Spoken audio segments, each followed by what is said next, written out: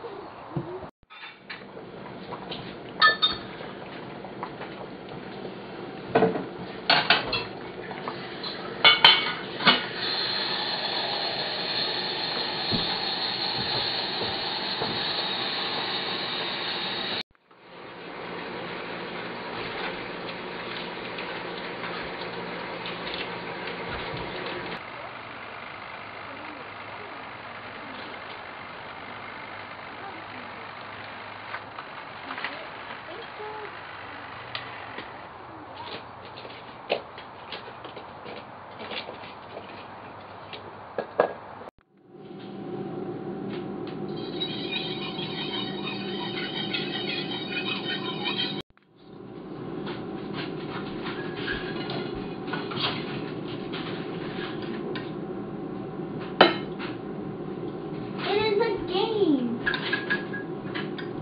Gotta put it away predators.